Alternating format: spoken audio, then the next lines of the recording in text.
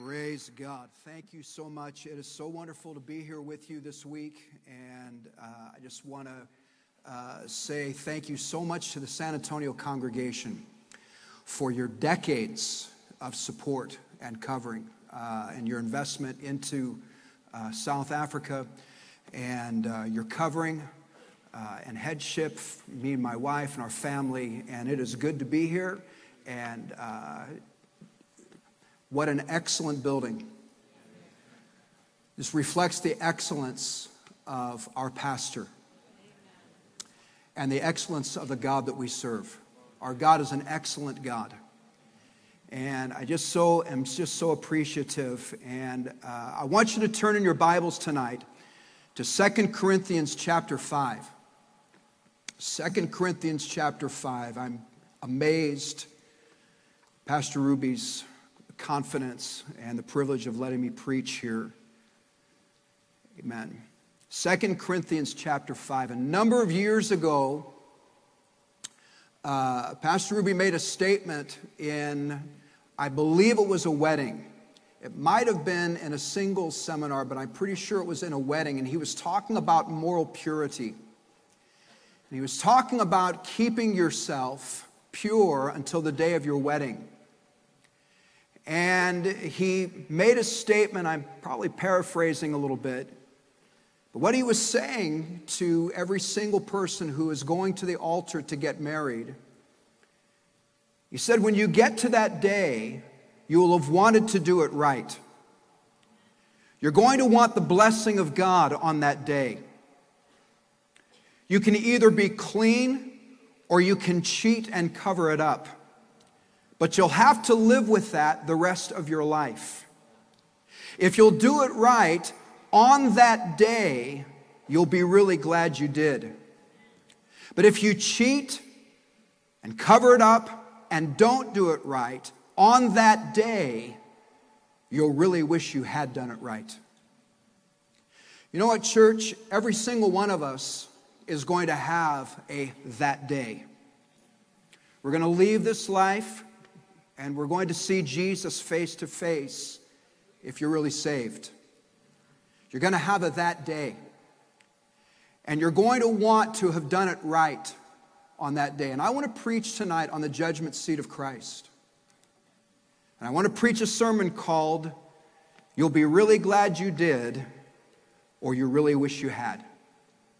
2 Corinthians chapter 5, begin reading in verse 6. So we always are confident knowing that while we are at home in the body, we are absent from the Lord. For we walk by faith, not by sight. We are confident, yes, well pleased, rather to be absent from the body and to be present with the Lord.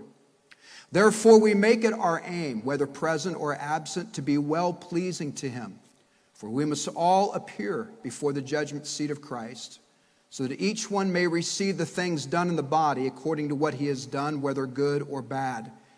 Knowing therefore the terror of the Lord, we persuade men, but we are well known to God, and I also trust are well known in your consciences. Father, we love you tonight. We come before you by the precious blood, by the Spirit of God. God, we understand that there is coming a day. Help us to be ready so that that will be a day of rejoicing in Jesus' name. You'll be really glad you did, or you really wish you had. I want to look first of all with you at we will answer. Here in our text, Paul is writing to the church in Corinth. Both of the letters that the Apostle Paul wrote, much of that was to set some things in order. There were some things that were out of order in the church. And the context here, as he's speaking, is what happens to the believer when they die.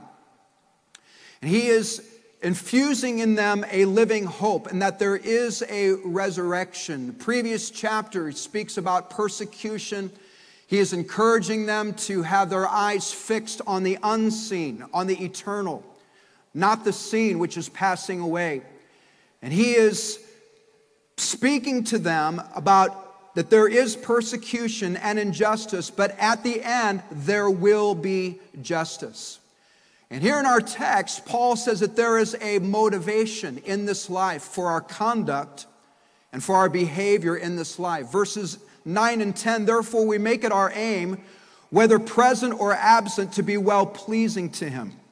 For we must all appear before the judgment seat of Christ, that each one may receive the things done in the body according to what he has done, whether good or bad. He says we make it our aim to be well pleasing to him.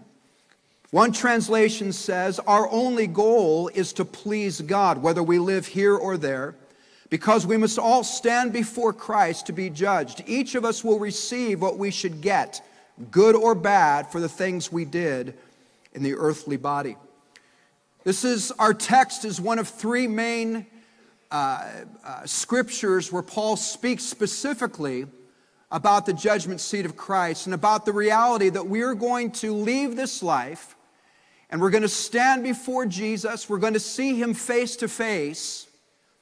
And he wants that day to be a good day for us, not a day of regret, that this is a reality.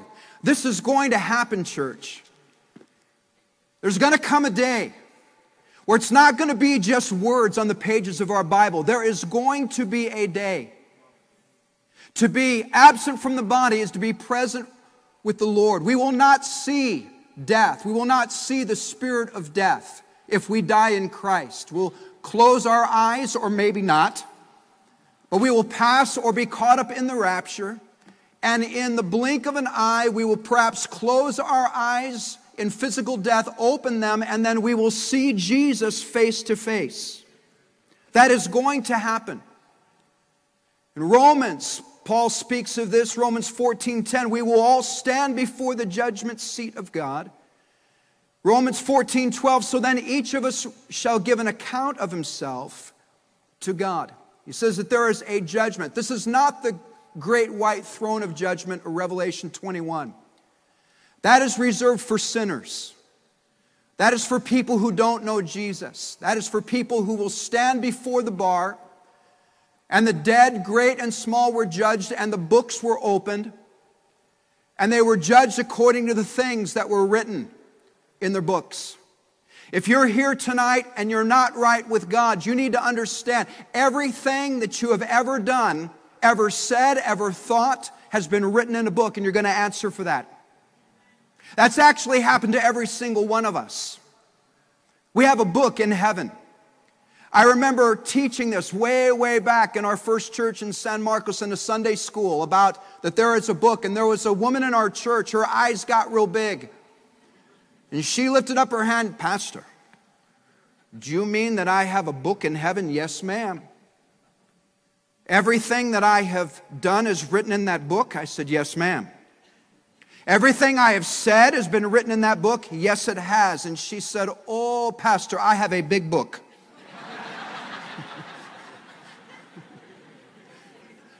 I mean, oh, we all have a big book. And we're going to be judged according to that. But the real good thing that happens is that when you get saved, there is a word in the Bible, it is the word justification. It literally means just as if, justified just as if, just as if you had never sinned. That when you give your life to Jesus, the blood of Jesus Christ erases your book. And, the, and in the eyes of God, He no longer remembers our sin. They are as, as if it never happened. Romans 8 1 There is therefore now no condemnation for those who are in Christ Jesus. We do not face the great white throne of judgment as believers. Rather than a judgment of condemnation or a determiner of salvation, there are two purposes for the Bema seat or the judgment seat of Christ. First of all, it is that we are to give an account of ourselves to God. We will still answer to God. Secondly, there is a recompense or a reward or a consequence for our works. The third foundational scripture about the judgment seat of Christ is in 1 Corinthians chapter 3. Paul talks about there is no foundation except the foundation of Christ. We are saved in Christ and Christ alone. But then every man, every person builds their spiritual house. They build their life on the foundation of Christ. This is what we do as Christians. This is what motivates us. This is our works, if you will. And that work, our life, what we have done for Jesus, that is going to come under examination. 1 Corinthians 3 13 through 15, each one's work will become clear, for the day will declare it. Because it will be revealed by fire, and the fire will test each one's work of what sort it is. If anyone's work which he has built on it endures, he will receive a reward. If anyone's work is burned, he will suffer loss, but he himself will be saved, yet as though through fire. The judgment seat of Christ means we made it to heaven. It's not to determine salvation, it is determine rewards. But there's, see, there's a little bit of a troubling phrase that is in that scripture, and it talks about loss. And that's really what I'm speaking of, going to be speaking about this, this evening. And so you think about it, what Paul is doing here is he's trying to prepare believers to have some kind of an understanding about getting ready and what to expect when you get there. You know, if you go someplace uh, on a vacation or someplace and you've never been there, when we checked in at the uh, here at the church for the conference, there was a greeting and a little bit of an orientation. Some places will actually have what they call a what to expect when you arrive or upon your arrival. And it's an orientation so that we don't do something foolish. So that we flow with the program and we know there. And this is what Paul is trying to help us to understand is what is going to happen to believers when we leave this life and we enter into the presence of God. And the truth is, as many Christians really have no clue as to what's going to happen. There's this false understanding or ignorance. It's just going to be one endless Club Med cruise without the vomiting or the flu or the seasickness. Endless bliss. One survey of professing Christians said that less than 20% believed that there would be any accountability for their actions on earth travel notifications.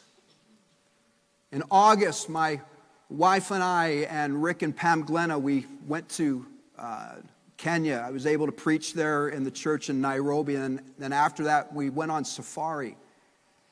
And when we got there, the, they checked us in and they said, Look, here's some guidelines. These, this is not the zoo, these are not tame animals. And so you have to conduct yourself in a certain way. Rule number one never get out of the truck. Doesn't matter how cute they might look. And the reason is, is the, the predators, the big cats, the aggressive animals, when they see a big safari vehicle, it's just a big thing. They might see your face, but they can't really differentiate that unless you get out. And then they see, if, if you would do that, they would see you're different from that and you are fair game. Ooh, look at that. Look, ooh, no claws, no fangs, no horns. I could eat that pink thing. Yes, I could. Let's go ahead and put the video clip up. And so, you know, there are reasons why they give these instructions, but we don't listen to instructions. We think it's going to be different. I took this video clip.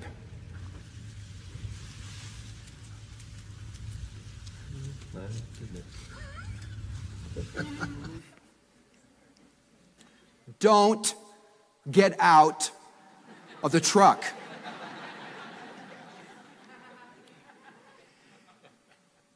See, when, when she went by,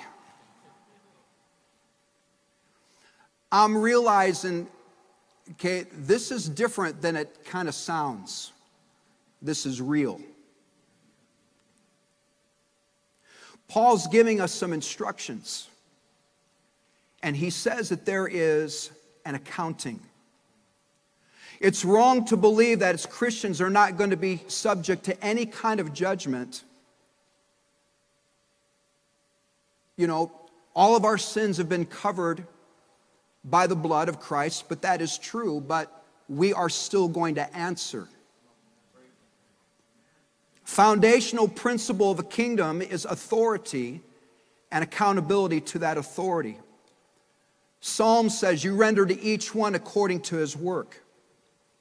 Jeremiah says, I, the Lord, search the heart, I test the mind, even to give every man according to his ways, according to the fruit of his doings. First Peter speaks of our Father who without partiality judges according to each one's work. Revelation, and behold, I am coming quickly, and my reward is with me to give me to give to everyone according to his work. You know, there is a judgment. And when we hear the word judgment, you know, judgment is coming, or there's a judgment, let's be honest. Our thought is, you know, that's a bad thing. But that's not what Paul is writing to the church in Corinth. He is saying that this is actually a good thing. It must happen, it is unavoidable, but it is a good thing. And I want to talk to you, secondly, about tears in heaven, and that's not an Eric Clapton song. Because there are building materials. Each one of us are building our spiritual life with what we do, what we say.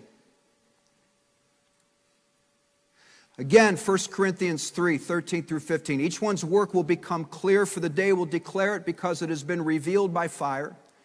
The fire will test each one's work of what sort it is. If anyone's work which he has built on it endures, he will receive a reward we focus on that.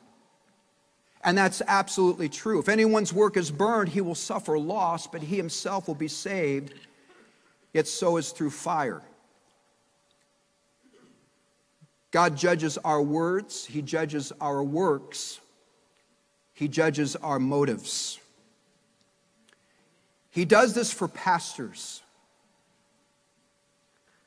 James 3:1 My brethren let not many of you become teachers knowing that we shall receive a stricter judgment. An evaluation. God's going to hold us accountable, preacher. The words we spoke over this pulpit, how we treated the people that God gave to us. We had a tremendous young man in our congregation. Was married less than a year. He was working he was doing an uber driving on the side. He was carjacked and shot and left for dead. Nobody knew where he was. His wife was getting nervous calling has anyone seen? and so forth. She started calling the hospitals where he was shot and left, somebody, a neighbor came out and called an ambulance and they took him to the closest hospital, which was a, a cesarean delivery woman's baby hospital. They didn't do jack to him. He sat on a, he laid on a gurney for five hours untouched except with a bandage over his bullet wound that the, that the, uh, uh, uh, that the ambulance driver left him there.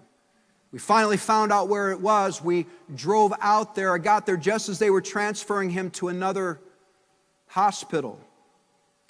This is a weekend, so there's all kinds of crazy, stupid, drunk trauma.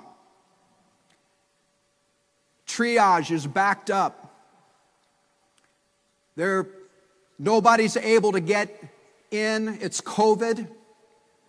And so we're pushing, pushing trying to get this guy in. Everybody's fighting. No, we were here first. And I, he was here, he was here. I said, how many, how many of these people have a bullet in them? And I pushed and got this guy into triage, and the wife was able to go in there. We were out waiting, nothing. We're not hearing anything, anything. Over an hour went by, called the wife, Pastor, nobody has seen him yet. And so I snuck in there tried to look like a doctor. Went in there, there's 40 beds, they're all occupied, two doctors, two nurses. It's a whole train wreck. It's, it's, it's, a, it's, a, it's a bad scene. He's laying there. They had stuck a tube in him. There's fluid and blood all over the floor. There's an untouched file laying on top of him. And I started pushing to get where, where is this, where are the surgeons? Is the theater, that's what they call surgery. Is the theater open? Is there, are there surgeons available? What's, what's going on? Sir, we're doing everything that we can. Everyone here is in critical condition. I said, that guy over there is reading a book. This guy here has a bullet in him. He's going to die without surgery. Sir, we're doing the best that we can. And I said, listen to me. We both know that people die in this room that don't have to. You need to get something going here. Who are you? I'm his pastor. And they ran me out. and so I called back into the to talk to the to the uh, to the wife, and she said, "Pastor, both of the doctors are looking at him now." It was now another, it was another five hours before they wheeled him into the surgery facility. This is 13 hours after he got shot. It was another six hours. It was 19 hours before they started working on him. He survived this. The bullet entered under his armpit and lodged about an inch from his spine at the base. He came out of surgery and survived that, and I knew it. I knew it. I I said, Look, he's still in critical condition. I said, Look, I'm going to give it 48 hours. They're going to need to open him up again because of infection and all the nicks and things that they didn't sew up, that the bullet nicked, and the surgeons and all that. And that's exactly what happened. They let him out nine days later. He's in agonizing pain. They had to take out part of his pancreas. It was an absolute miracle that he survived this, but he's in absolute agony, back pain. They sent him back to a physical therapist. And I'm like, did they take the bullet out? And they didn't. And we had to push and push. It's too close to his spine. I want to see the x rays. And we pushed and pushed, and he went in a third time, and they took the bullet out and he's back playing drums. you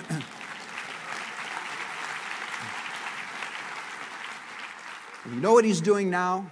Is every second Saturday he takes a group of people into that same hospital and he prays for the sick.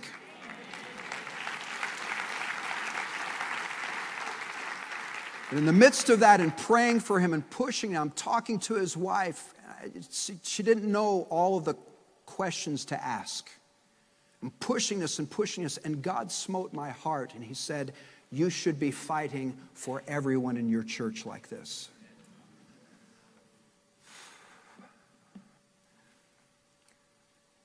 We're going to answer, Pastor. God has given us souls, and some of them are trouble.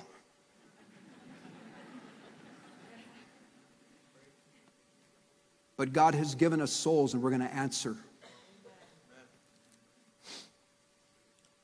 We're going to answer for our ego. We're going to answer for our pride. We're going to answer for our ambition.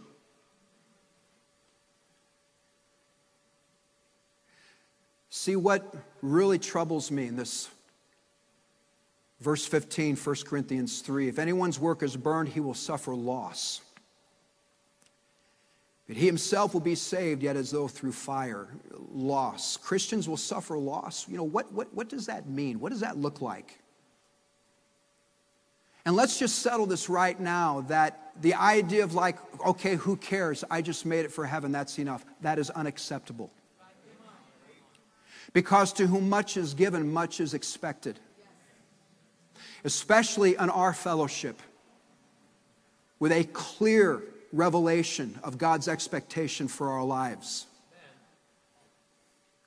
Ah, who cares? Ah, yeah, no, I just, ah, as long as I make heaven my home. Hey, hey, Paul. Hey, Peter. Hey, how's the golf swing?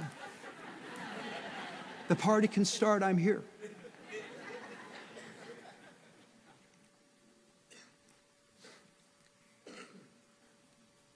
What does it mean to suffer loss? See, there's only one way into heaven, but people will enter in by one of two different ways either reward or loss, with joy or with tears. 2 John verse 8 Look to yourselves that we do not lose the things we worked for, but that we may receive a full reward. 1 John 2 28, and now, little children, abide in him that when he appears, we may have confidence and not be ashamed before him at his coming.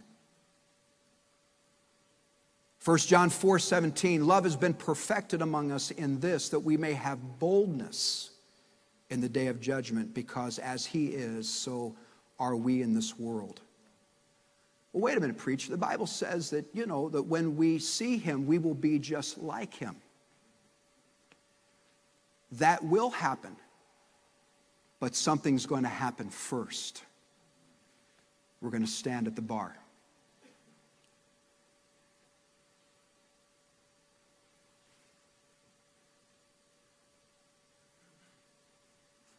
and not be ashamed before him at his coming.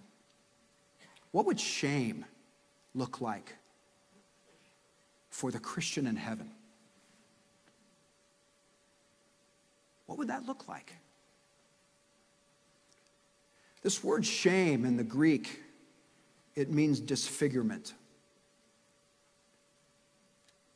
It means that when that happens, when there's loss,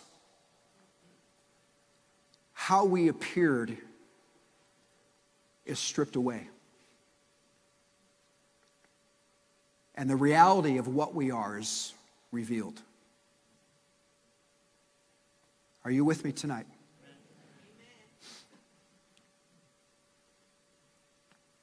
The word shame, it means a condition of humiliating disgrace or something to be regretted. I'm really not trying to ruin your day. I'm going to get us out of this. But this is a reality. This is part of the judgment seat of Christ. We're going to be examined.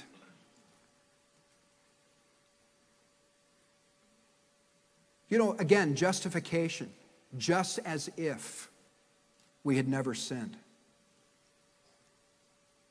John writes and he says that if for Christians, if we confess our sins, he's faithful and just to forgive us our sins and cleanse us from all unrighteousness. Thank God.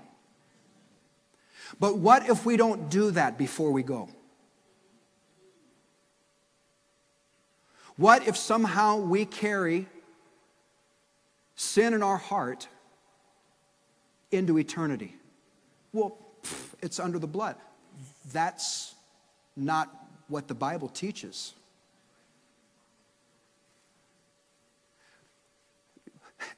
See, sometimes we need to hear doctrine.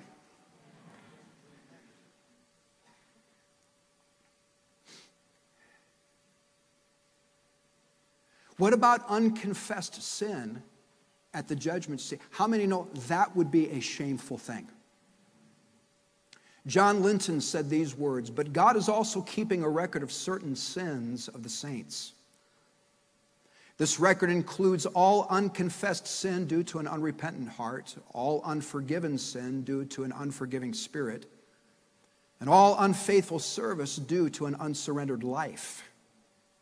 A Christian who has wronged his brother and has never repented of his sin before God and man will have that unconfessed and unforgiven sin to face at the judgment seat of Christ.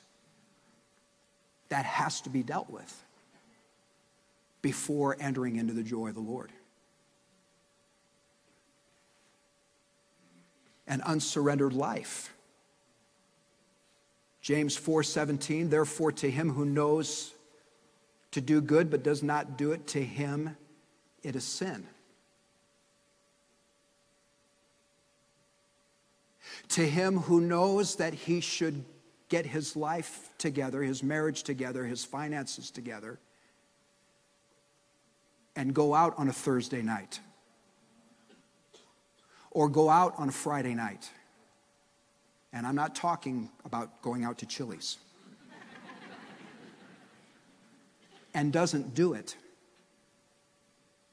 because he knows that God has called him to do it.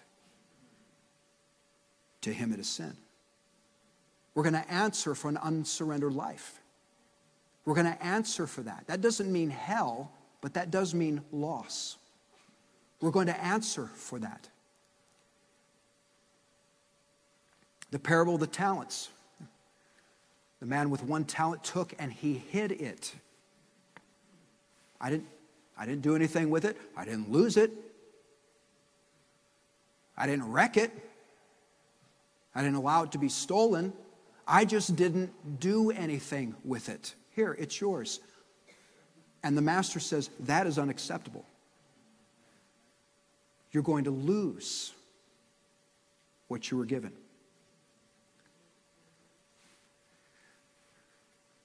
There was a consequence. There's the issue of unresolved conflict. This has been a theme this week, hasn't it? There's been a lot of talk over the pulpit about getting right with each other, about dropping the attitude and coming under submission with your pastor. That has been a theme, not just in this conference, but conferences everywhere, because there was a lot of that nonsense going on the last couple of years. And the appeal is always there because, listen, our strength, there is power in our unity. The Bible teaches very clearly there is power in agreement. And if we're going to have supernatural power, we're going to impact, this is going to be because we are in agreement and we are walking with those we're supposed to be walking with. How can two walk together unless they be in agreement? And so the idea, well, you know what? I, it, it's a big building. I, I'm just going to sit on the other side of the building because I don't really get along with them anymore. Or, pastor in the field, you're not in orbit with your mother church as you should be. That's not going to get a pass at the judgment seat. Emery Bancroft said these words There will be a vast amount of healthy work transacted at the judgment seat of Christ.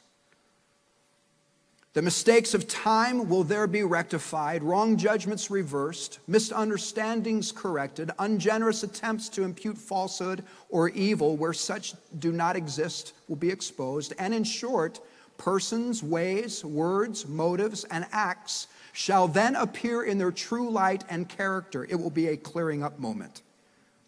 Every difficulty and question between believers and God and between brother and brother shall then be righteously adjusted. You won't get right with your brother or your sister or your pastor in this life. That is going to happen at the judgment seat of Christ. This is, this is, uh, well, just, you know, this is, you know, this is private. We're gonna, you're going to have your judgment seat experience in front of everyone. You know, my wife, when she is uh, baking in the kitchen and she's baking things that she gives away, and I don't get to eat them.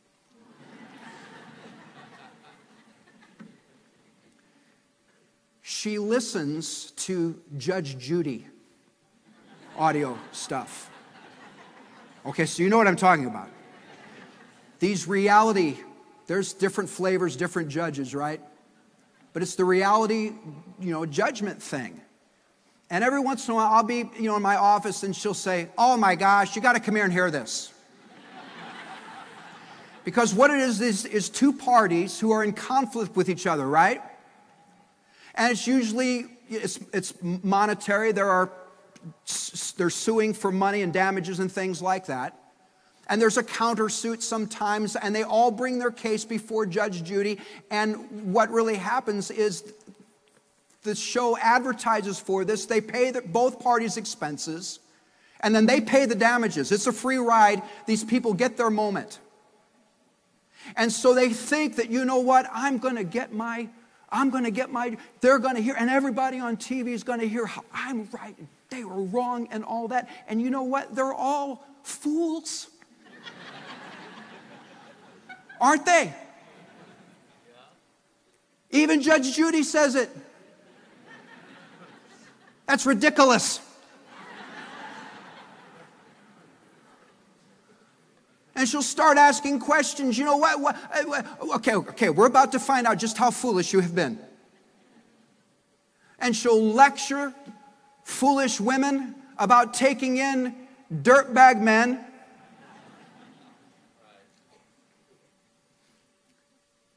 And then, and what happens is, is these people get, and they are absolutely certain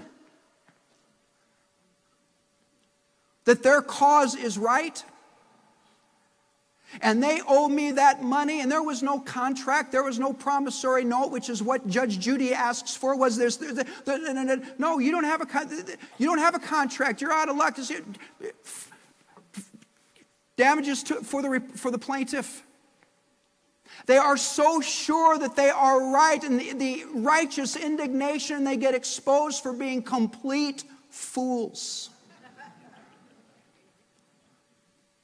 Well, we're not going to stand before Judge Judy.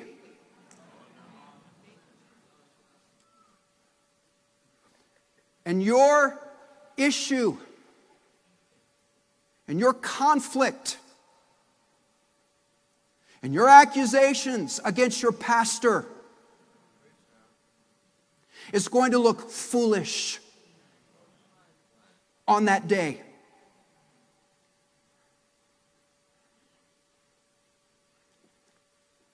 Again, John Linton, yes, Christians will be brought face to face at the judgment seat with every alienated brother, with every unredressed wrong, and every unconfessed sin, with all unfaithful servant. All unsettled quarrels will be brought into account because, listen, we cannot enter into the joy of the Lord unless this is all settled first. If we don't get it right in this life. If we don't put to death our pride and our ego and our entitlement and our me first. See, this is the appeal. This is what Paul is speaking. We make it our aim, verse 9, whether present or absent, to be well pleasing to Him.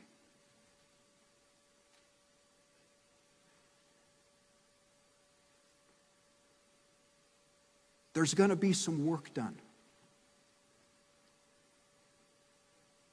And so it's like so important that we get this done in this life so that we don't suffer loss in that life. I want to close and I want to talk to you about preparing for that day. Because there's another aspect of this. You know, the work of salvation, the end game of that is we're supposed to be like Jesus. Right?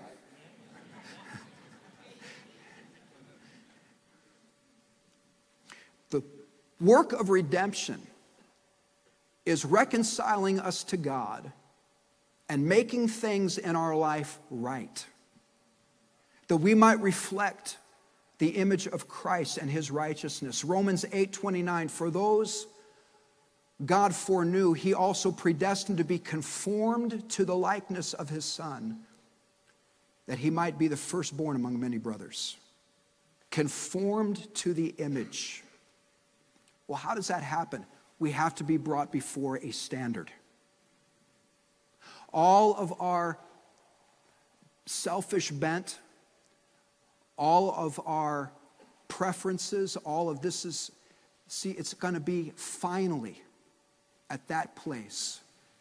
Okay, here's where the finished work is done of you becoming like Jesus.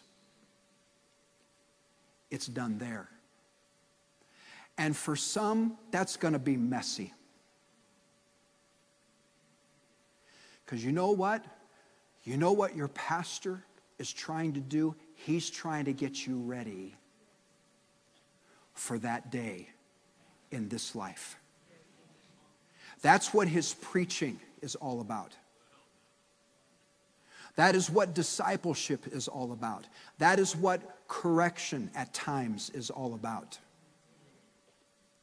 Because the only way that that can happen is to be brought before a standard of judgment, a righteous standard. And this is a good thing. this is a good thing. So that Judgment Day, the judgment seat of Christ, will be a day of reward. Hebrews 13, 17, obey those who rule over you and be submissive, for they watch out for your souls. As those who must give account, let them do so with joy and not with grief, for that would be unprofitable for you. Why would that be unprofitable for you? Because that day is coming. Let them have right of way in exercising righteous, godly, redemptive authority in your life. Let your pastor do that. Let your leader do that. Let him have that way. See, this is the work of pastoral ministry, and that is to prepare the bride of Christ. Ephesians 5, uh, I'm sorry, yeah, Ephesians 5, Paul is talking about, you know, husbands, love your, love your wives as Christ loved the church. Right? But then verses 26 and 27 says that he might sanctify and cleanse her with the washing of water by the word, that he may present her to himself a glorious church, not having spot or wrinkle or any such thing, but that she should be holy and without blemish. See, this is what your pastor's doing. He is washing you with the word. He's getting you ready for that according to the tradition of Middle Eastern marriages, beauty treatments, spa treatments so that there would be a natural beauty and not bondo and implants. There would be a natural beauty, the washing of the word. This is the work of salvation. At the judgment seat of Christ, when it is all said and done, and when, when everything is examined and that is sorted out, that is when the completion is done, and then we will be like him.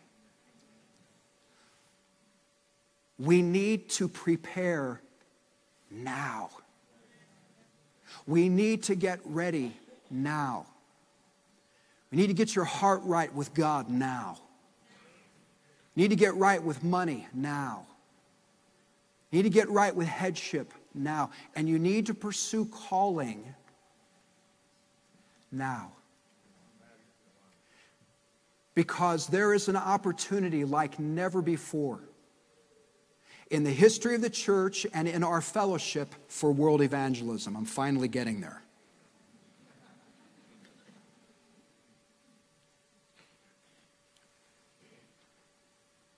Crowns, the runner's crown, the soul winner's crown the crown for enduring temptation, the crown of righteousness when looking for his appearing.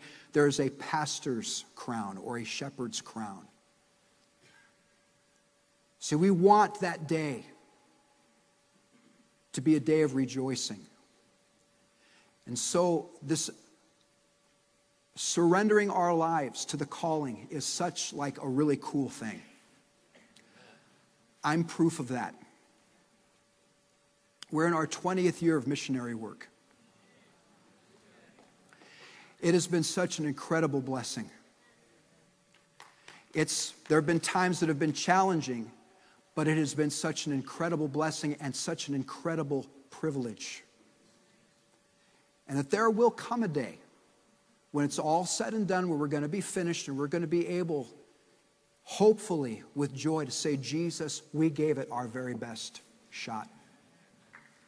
Um, so, Pastor, listen to this 1 Peter 5 2 through 4. Shepherd the flock of God which is among you, serving as overseers, not by compulsion, but willingly, not for dishonest gain, but eagerly, not as being lords over those entrusted to you, but being examples to the flock. And when the chief shepherd appears, you will receive the crown of glory that does not fade away. It's going to be worth it, Pastor. It's going to be worth it.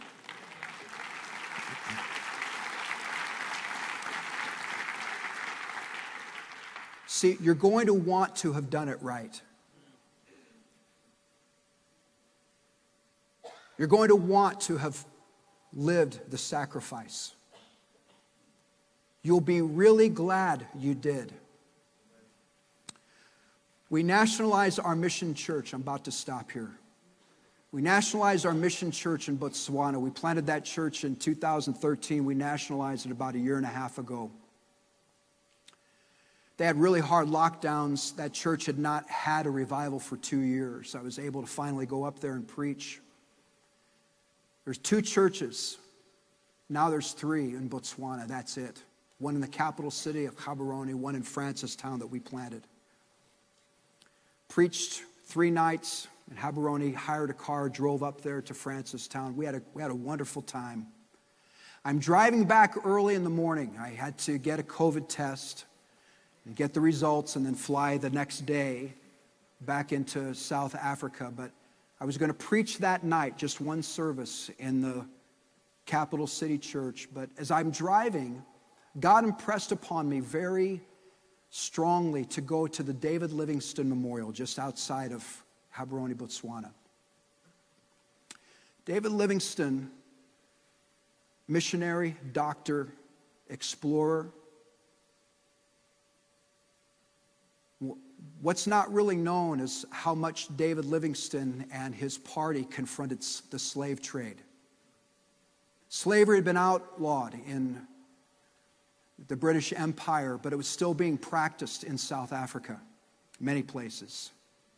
And he would go and confront that. There were at times armed conflict. And there was a party of Boers, Afrikaners, slaveholders that fought against Livingstone and his people Livingstone fled across what is now the border of South Africa into Botswana. And he withdrew there and he began to just minister. He gathered about 100 people. He built a house and he built a chapel. And it was there in the chapel that he would minister. His wife, Mary, would cook scones, like think biscuits, and would teach the natives English out of a Bible. Every morning they would come for their English lesson out of the Bible, but they had to have their English lesson before they got their biscuits.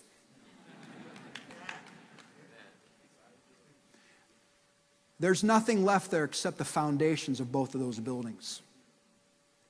There's a memorial, there's some information there.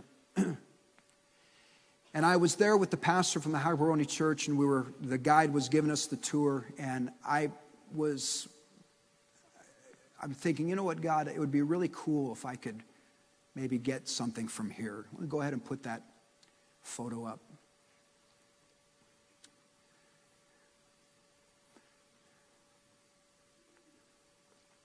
And I looked down,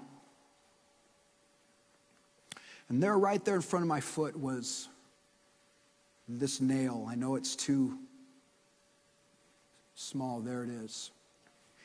This is a nail that David Livingstone drove into the wall of his church building.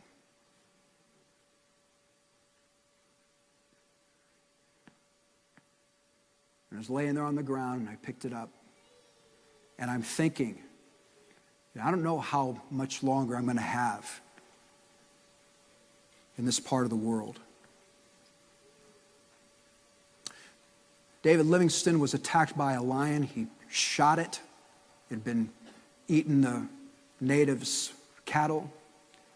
He shot it. The lion was still alive, caught him by his left shoulder, shook him like a rag doll, splintered the bones in his left shoulder. He couldn't use it for the rest of his life.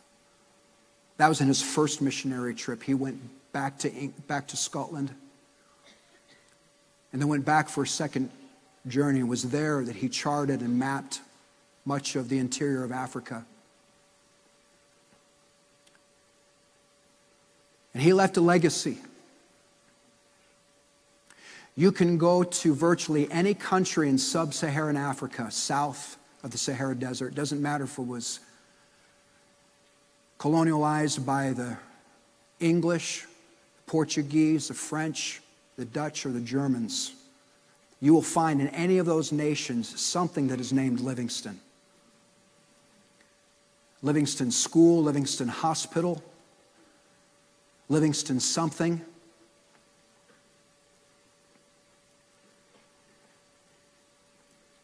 This man left a name.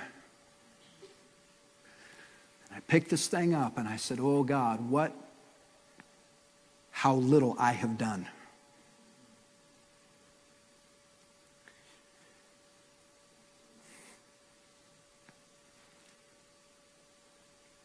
We have an opportunity to go virtually anywhere in the world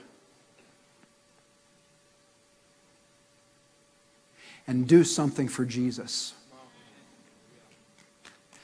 And what my wife and I do and have done is we've just run in our lane. Not everybody's called to do what we're doing, but we're just running in our lane. And it is an incredible privilege to have stepped into the footpaths what others have done before. We're going to answer to God. We're going to give an account for how we've lived our lives. We have an opportunity to get heart issues right, and we have an opportunity to go and do what God has called us to do. I want you to bow your heads for just a moment.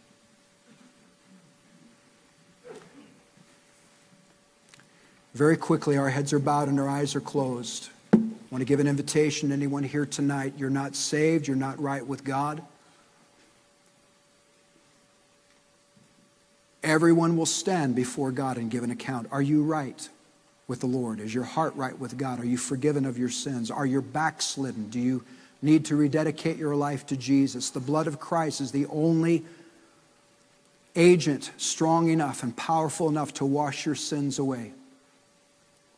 Would you open your heart to Christ? Would you give your life to Jesus? Would you rededicate your life to Christ, backslider? Would you open your heart? You're here tonight and you need Jesus. You'd say, Preacher, I want to open my heart to Christ. I want to get right with God. Lift up your hand right now. Lift it up. Anyone at all, lift it up. Backslider. I see a hand. God bless. Anyone else? I see a hand. God bless you. Anyone else? This day is coming. I see a hand. God bless you. Anyone else? Settle it tonight. Make heaven your home. If you lifted your hand, I want you to do one thing. Just get out of your chair. Come to the front right here. Somebody's going to meet with you and pray with you. Come, come. You lifted your hand. Come out. Come out. Come find a place to pray. Speaking to Christians, we have an opportunity. This is much of what we've heard this week is about restoring things that are unresolved, relationships that are unresolved. We have an opportunity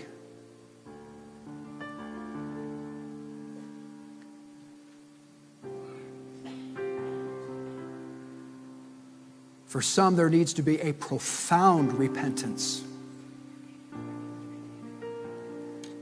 Change the course, the trajectory of your life.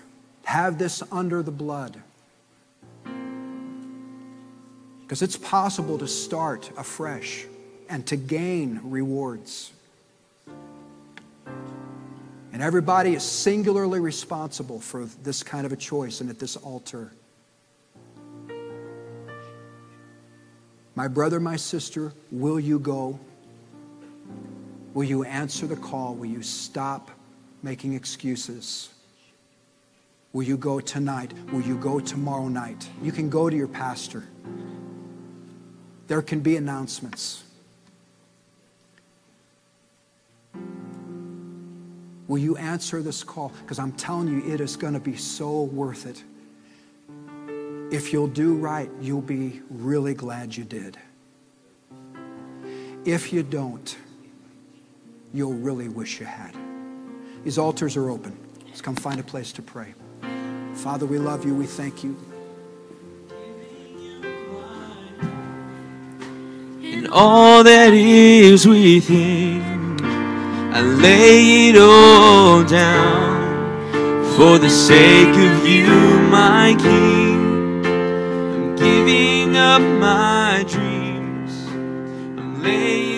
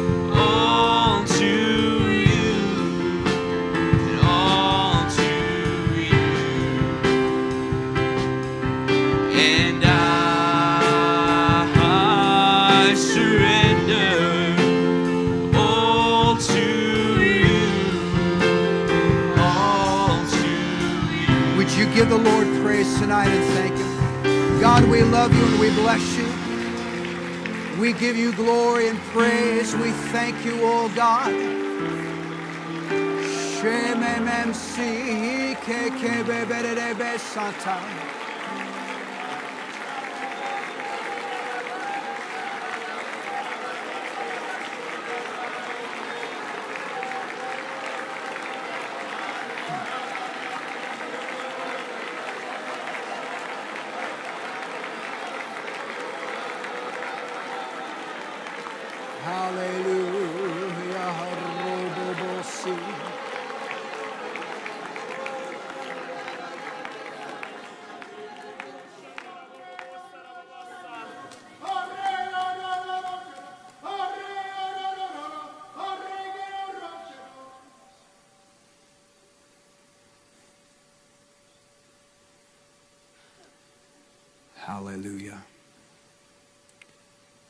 For saith the Lord thy God this night, it is, a, is it a light thing that I have called you to follow me, saith the Lord?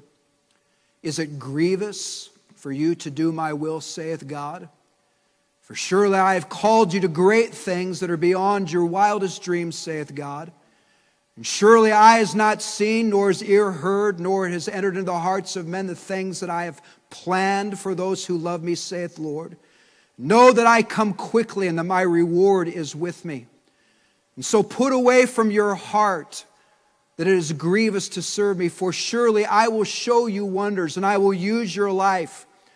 And I will take you places, and I will show you my glory and all that you set your hand to do. Only let your life be surrendered and put into my hand, and I will surely bless you, and I will cause you to be fruitful, saith God. And I will enlarge your vision, I will enlarge your heart, and surely I will cover you, and I will surely be with you even to the ends of the earth, saith the Lord thy God. Hallelujah.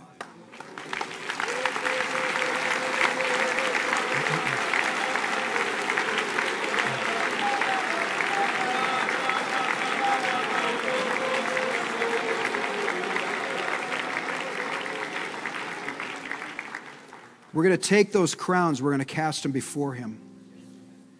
That's not the motivation. Paul says that whether here or absent, our aim is to please him. He bought me. God, let my life be pleasing. God bless you, Pastor.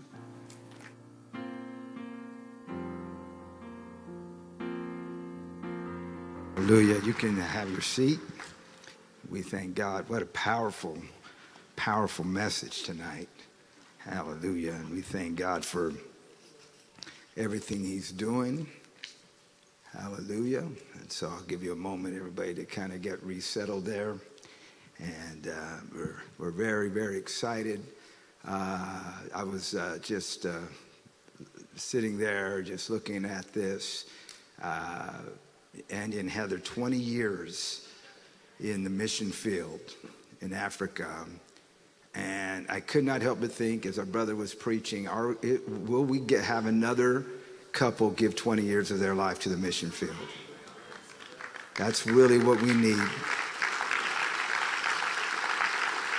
And uh, it's a whole different story when you spend your life laboring in these nations and you say, wow, what a powerful preacher. You get that kind of preaching by spending 20 years in the mission field. And so is a, they are a gift to this congregation, to these fellowship of churches. They've set a standard for missionary work. When Andy and Heather went uh, to uh, Cape Town, there, uh, 2000, uh, we didn't, none of us thought it would be a 20 year venture. Uh, but they fell in love with the people and the, saw the possibility of God. And uh, they are an incredible blessing and an example. And I, I couldn't help but think, as he, and he was preaching, I said uh, that uh, there are some couples here. It's not just, well, I'm going to go and prove that I'm willing to go, but some couples here that God wants you to spend your life, your youth, uh, doing something for God in another country. Because that's the only way. We have powerful church planting churches in South Africa today. Uh, but that only happens when you have people willing to stay for a long period of time. And so, anyway, we thank God for that. Okay, uh, we're here to make some announcements tonight. And, uh, and, uh, and so, there are a number of things we're going to do. One of the blessings is that uh, you plant churches, those churches begin to grow and develop. Remember, we're not planting churches, we're planting churches that plant churches. That's our goal. And uh, we're beginning to see that uh, from so many different directions. And so we have some exciting announcements today. And I want to begin with uh, some uh, announcements because these people can't come here. You know, uh, in America, if you try to get in here legally, it's very difficult. And uh, we have people around the world that, that are want to come. We wanted to bring them, but it's impossible for get, uh, to get them visas.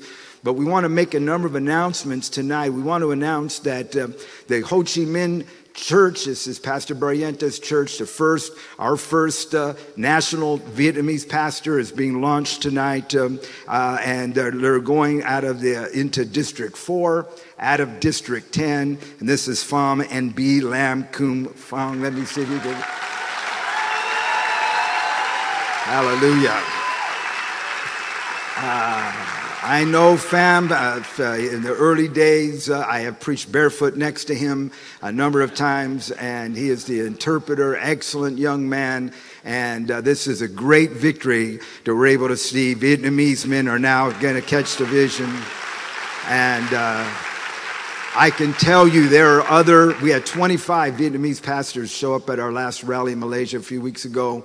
Uh, there are other Vietnamese young men that are lining up to get sent out and, uh, and uh, are going to make an impact there.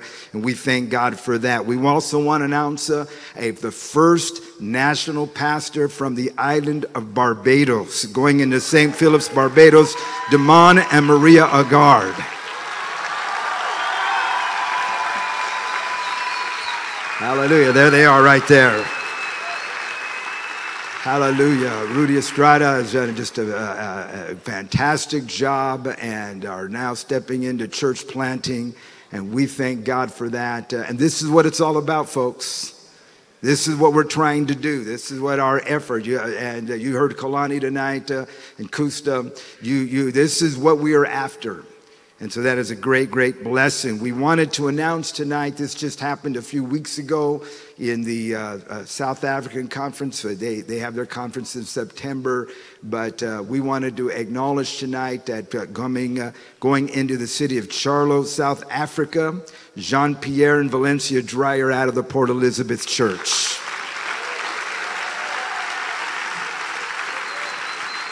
I think he might be the first Jean Pierre in our fellowship. I've asked her. Hallelujah. And then also, we want to announce uh, uh, just uh, uh, recently planted, again, they cannot come, but uh, we wanted to plant them from here, but they couldn't come here legally. I did think about other ways to get them here. But uh, going into Guadalupe, this is in Nuevo Leon, Mexico, suburb of Monterrey, Angel and Sonia Rivera out of the Monterrey Church.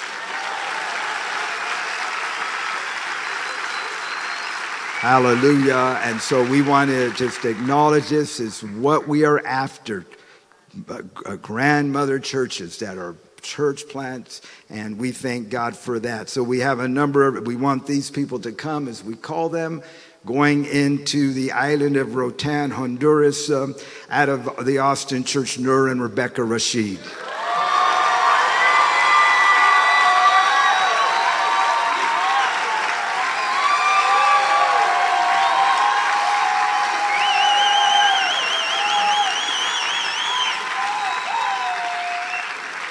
Hallelujah. Noor and Rebecca served as missionaries in Limon, Costa Rica, and the island of Roatán is a, is a kind of a mixture of mestizo, Spanish speakers, and Caribbean. And I thought, do I know anybody that could do both? Uh, who came to mind? Amen. Divinely equipped, I told Nur, you are like Moses. You have been divinely equipped for this island, uh, and we're looking forward to a great report. Going to begin a brand new church in the city of Da Nang, Vietnam, out of the Austin church. Gabriel and Diane Martinez.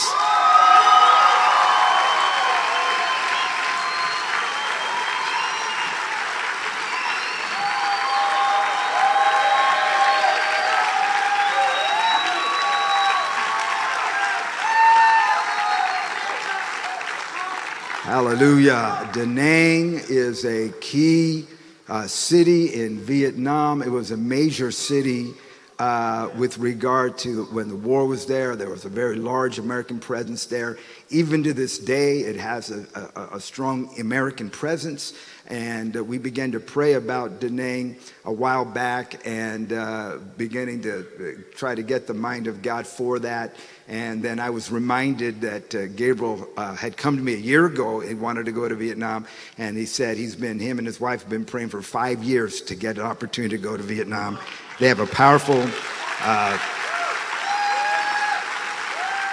they have a powerful uh, church that God is raising up there in Kyle. And so we thank God this young couple is responding uh, to the need. Amen. I want to announce this, and I announced this last year, but I want them to come uh, and bring them before you.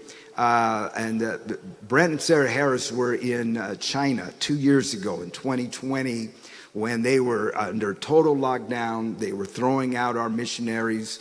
And uh, I remember Brent and I were talking. We felt that he was, him being thrown out was imminent.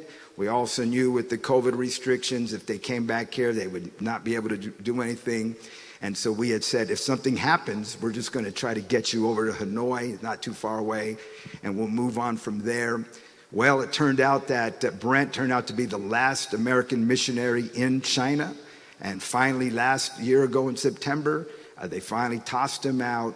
Brent Sarah arrived here, and I didn't check with him, but I would think somewhere in the first week that he was here, uh, Bridget, his mother, was diagnosed with uh, leukemia.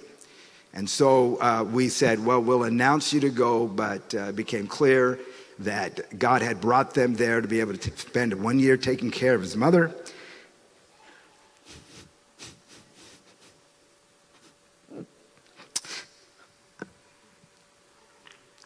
Yeah.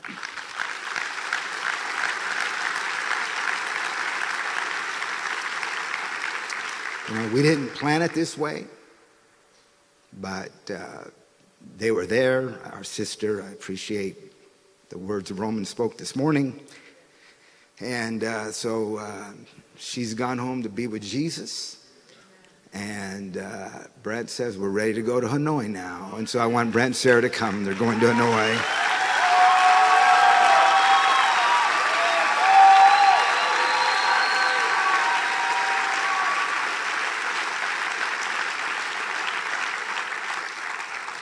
Hallelujah. We want to announce tonight planning a brand new church in the city of Hanover, Germany, is uh, Tony and Lourdes Cisneros, if they'll come right.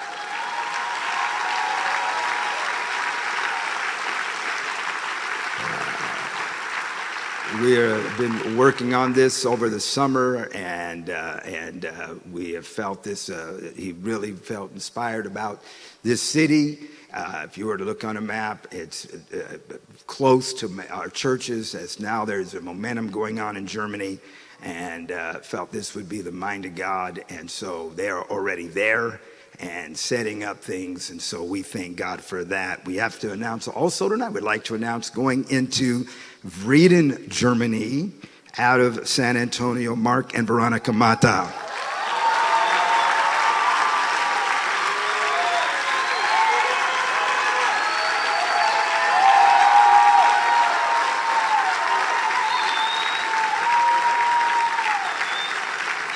Hallelujah. Uh, everybody, everybody from San Antonio says, I knew it, I knew it, I knew it. Because Mark walks around here speaking German, uh, everybody. Uh, it is very difficult to get into Germany. Tony mentioned that in his message, how uh, difficult, it's very, very difficult to get into Germany. Uh, and, uh, and just out of a, it's a long story, it's a miracle. Mark's working. Uh, somebody says, Hey, why don't you apply for this job? It's a German company. They hire him, love him, and then start to give him a German visa to go to Germany and train. He meets Germany. He comes back, brings his wife. I think he spent a total of around 45 to 60 days there. Uh, came back. Uh, the company has plans for him here in San Antonio, but they fell in love with Germany and said, We want to do something for God in Germany went to his company and they said, well, they'll use his visa to allow him to go there. And so they're going to be going to Germany here in a few months. We thank God for that. Going into La Paz, Bolivia from McAllen, Victor and Jessica Lopez.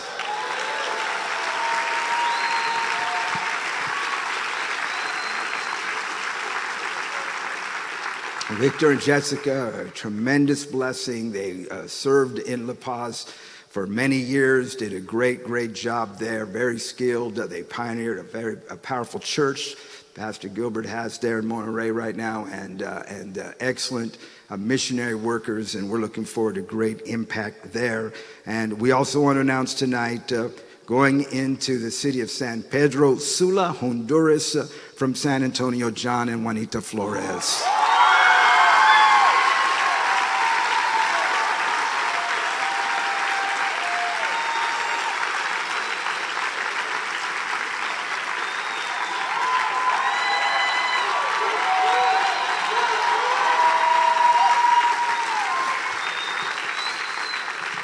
Hallelujah. Thank God, John Juanita uh, pastored. If you pastored for seven years in the West Side, you can go anywhere in the world.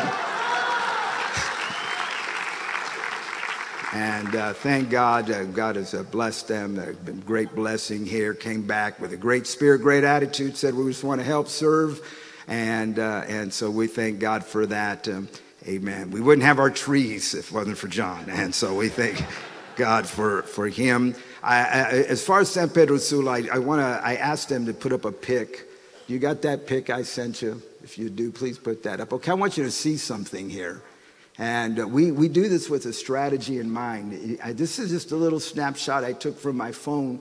There you know that you have Luis Alcala and Chetumal. If you move down, it's only a couple hours away, is, is Belize City. We actually have, I think, eight churches in Belize now. And uh, then if you move down from there, there's the island of Roatán. You see that. Uh, there's La Ceiba. That's where the Bernals are. Now we have a city of one million people, San Pedro Sula. It's a very key city to what we're trying to accomplish uh, as we're beginning to populate this region of Central America that the world has forgotten about, but God has not forgotten about.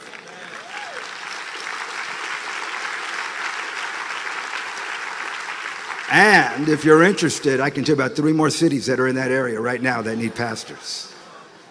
And so we thank God. Isn't God good? Amen. These churches, every one of them. Okay, I, I, I, uh, I was thinking, hearing what Andy was saying, and I thought, uh, who knew he was exactly on the same path that I was on? I want to receive an offering tonight for world evangelism. This is not what we have done on Monday, Tuesday, or Wednesday, or what we will do tomorrow. This is dedicated to world evangelism. This does not help pay the conference expenses at all. I mean, after what Pastor Greg preached, after what Pastor Anderson preached, I don't think I should have to say a lot, but I'm going to say something. And I came across this very interesting. My brother Fred uh, uh, uh, brought it to my attention. Can you put up that headline I sent you there? I mean, these guys, uh, you got that? Uh, amen. There it is. Listen to this is from an NBC. It says, Belief in hell boosts economic growth, Fed says. And I want to read you a little bit of the article. It says, Economists searching for reasons why some nations are richer than others have found that those with a wide belief in hell are less corrupt and more prosperous, according to a report by the Federal Reserve Bank of St. Louis. Then it goes on at the end of the article Ellen Johnson, president of American Atheist Incorporated, I'd hate to be married to her, called the study the latest gimmick from the religious establishment to drum up government support. She went on to say religious people cannot rely on their theology to promote what they, uh, what they do. They, people cannot rely on their theology to promote what they do, so they turn to other things, she said. So think with me for a minute. Here they are, they're trying to study why are some nations and peoples more prosperous than others, and they use all kinds of data, and they cannot get away from the fact that a, uh, when you go to a people group that believes in hell, they are more prosperous. And it, it, causes us to stop and ask ourselves, what, what's going on here? Why is that so? And I, I want to look at that with you for a minute before you make your decision what to give. Here we are in 2 Corinthians 5. The Apostle Paul, I'll read it to you, you just heard it. For we must all stand before Christ to be judged.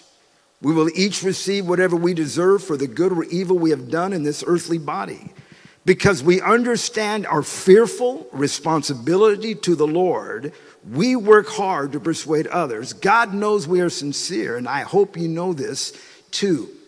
Why are people who believe in hell more prosperous? First of all, I'm gonna give you three reasons. Number one is because we believe the Bible's true. And if you want to prosper, believe the Bible. Doesn't the Bible say that uh, uh, this book shall not depart from your mouth, but you will meditate therein day and night to observe to do everything that is commanded? For then you will make your way prosperous and you will have good success. Wherever you find a people who take this book seriously, there will be prosperity. There will always be prosperity because they will understand that God has set creation in order and He has given us a roadmap to blessing, and, uh, but you have to follow the Word of God. Um, and, and so that's an obvious one. The second reason is this. If you believe in judgment, then you understand that our decisions, we're going to answer for them. People who believe in hell understand that, you know what, there's going to come an accounting. I'm going to have to explain my life, just, just as Pastor Anderson just said. I'm going to have to be honest with God. We will stand before the judgment seat of Christ. And he goes on and says, it is a fearful responsibility. No, we are living in the age I mentioned where today people have anxiety over judgment. Anxiety is the fear of judgment.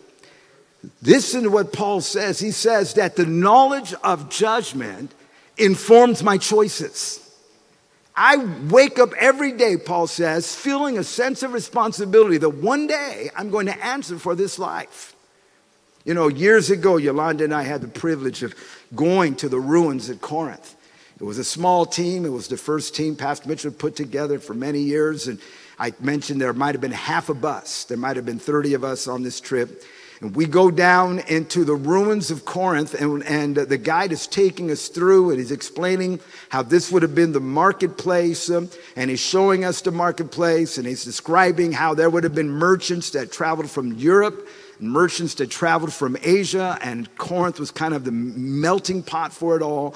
And I'll never forget it. As we were walking through this marketplace, we came to this place right in the middle of the marketplace, and he said, This is the Bema seat. That's what the word means. The judgment seat of Christ here is the Bema seat. And it was the place where the civil authorities would, uh, I guess, as Andy says, do Judge Judy. It was here where the common man would go and they would have their cases heard and judgments were rendered. And but what struck me, it was in the middle of the marketplace. And so the idea that's suggested there is that you and I sometimes get so involved with the marketplace that before we know we're before the Bema seat. We can get so caught up with this world and everything that's going on and trading and making money and doing things and living life. And then all of a sudden, before you know it, we're walking. And next you know, here we are, we're at the judgment seat. And it's almost like you're not careful, you'll be unprepared. You will become so distracted by life that you forget that somewhere you're going to take a step and there's the Bema seat of Christ, there's the judgment seat. And when people live with that, it does something to them. Did you hear what that article said? They're less corrupt. They have integrity. They understand that there's something that I'm going to answer for. And it does something to them. And that is why we need sermons like tonight to be reminded wait a minute, I'm a Christian, but I am going to stand. And Paul said, This is a fearful responsibility. You know, if you have a King James Bible, it says, knowing the terror of the Lord. To know and wake up with that. That I'm going to answer for all this stuff. That here I live in the richest nation in human history. That for us, owning two cars is nothing when 90% of the world doesn't own one car. And, and if we're not careful, we just kind of forget that and Paul says, every day I wake up with that responsibility. But here's the third reason, and that is they said the belief in hell makes people prosper. So I'll give you the third reason because we know that hell is real. And when you really know hell is real, that has some, that, that translates in your life. Now, you might say, I believe in hell, but do you really believe in hell? Because when you believe in hell, then you understand the priority of life is eternity. This isn't about just having fellowship churches in different parts of the world, it's about saving souls from hell. It's about that burden. It is taking eternity seriously. And you show me a man or woman who takes eternity seriously, I'll show you a man or woman who gives seriously, especially when it comes to world evangelism because that is what we are. We are a soul saving operation. That is everything. You saw the video? You know what the video showed? Trying to save a soul. Movies, rap, street preaching, knocking on a door. That is what compels us to do what we do. And when people believe that and they understand that, then that is why it motivates us. Do you know why the false doctrine of once saved, always saved? That's a false doctrine. Eternal security. Do you know why that's become so popular? Because it alleviates Christians of their personal responsibility to try to get people saved. Because it says to us, it doesn't matter if you outreach. It doesn't matter uh, that you try to win somebody. Everybody's going to be saved in the end anyway. God forgives everybody. Universalism. And, and, and yet here's the apostle says a fearful responsibility and it does something to him.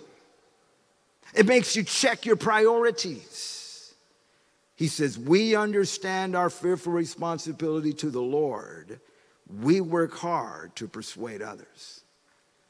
Here's a man who believes in hell. And because he believes in hell, then this awesome responsibility, this burden, and that is why we do these Thursday night world evangelism and we stop everything else we're doing and we say, wait a minute, this is, conference isn't about us. It's about the people we can reach. It's about the nations and the cities that we can reach. It's about these people stopping their lives.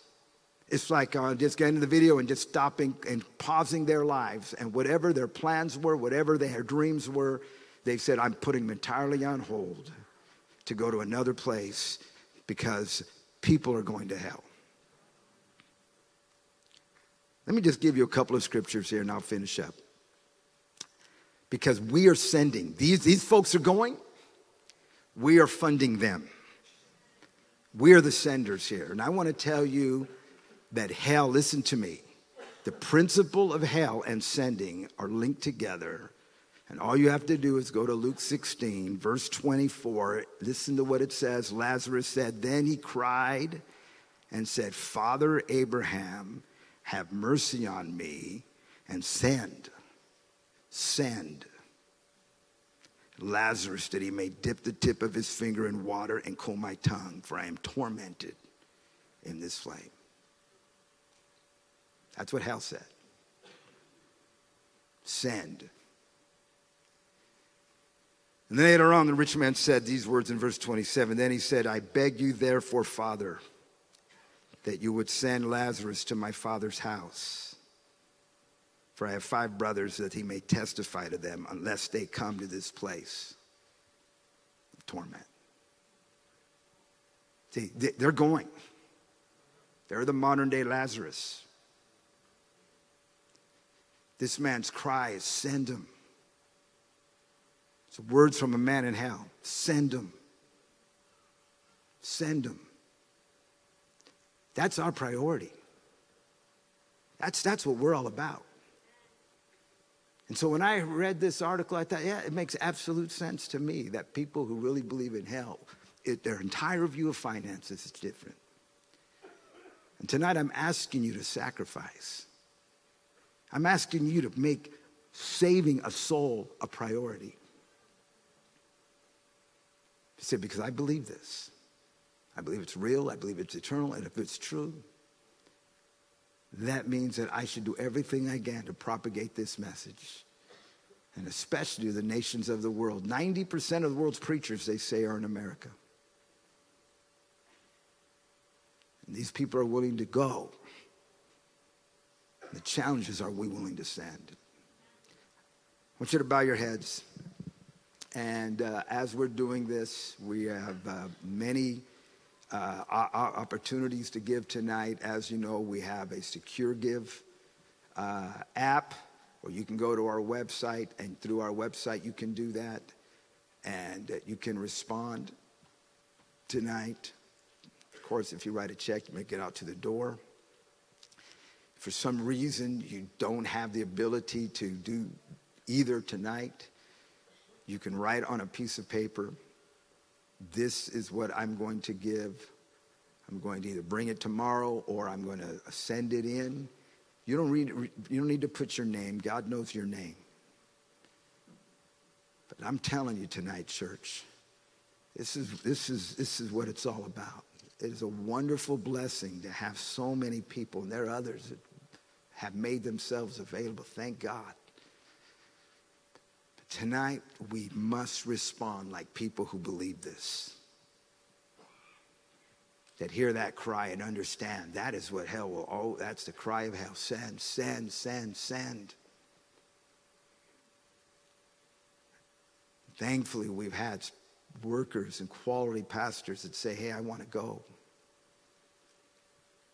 But will we be, we be the senders? And I'm asking you to sacrifice Please don't be a token tonight. Don't just say, oh, I'm just going to this. Hell's not a token.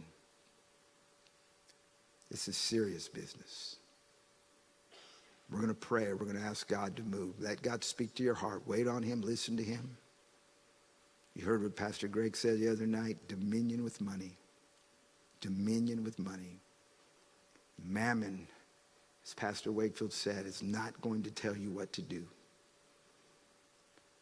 Amen. Father God, I thank you, Lord, tonight for the privilege of being able to stand before so great a people.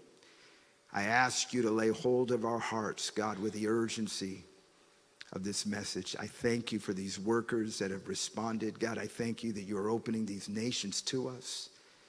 God, I pray that you will prevail. God, that we will not just be willing to go, but there will be many, many people willing to sacrifice and give. Raise up an army of senders tonight provide and bless, open the windows of heaven and pour supernatural resources that will flow powerfully through this people, God, to the nations of the world. And we thank you for all this. In Jesus' precious name, and all of God's people said, Amen. Let's obey God tonight. Sing a new song to the Lord and let the nations that our God alone is wonderful. Every day his people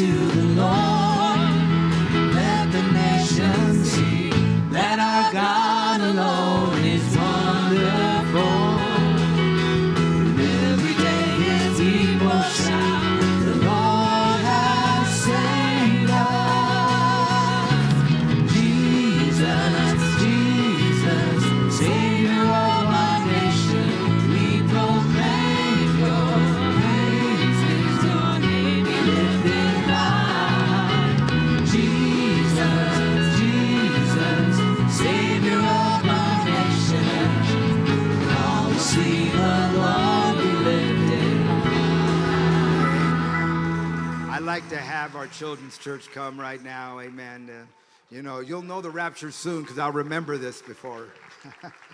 come on up here.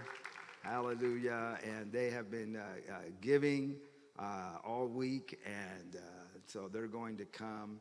We want to acknowledge this. Amen. What a great blessing. Amen. Here they come. Hallelujah.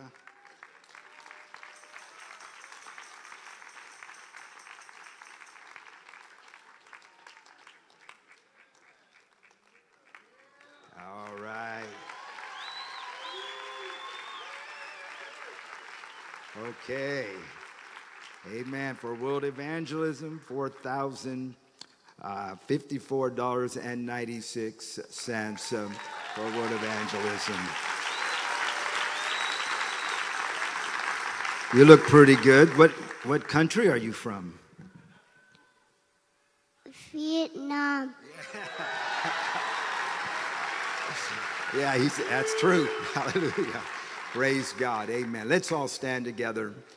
Thank God. What a glorious night. Uh, amen. We're going to have a great day tomorrow. Hallelujah. Let's let's run to the finish line. I would say go home and get some sleep, but I know that's not going to happen. But but we'll be here tomorrow. We're going to have a great, great door, a great night tomorrow night. Praise God. Our heads are bowed. Thank God for the grace of God in this place tonight. Josh Steele, I know you're here somewhere. Will you close us in prayer?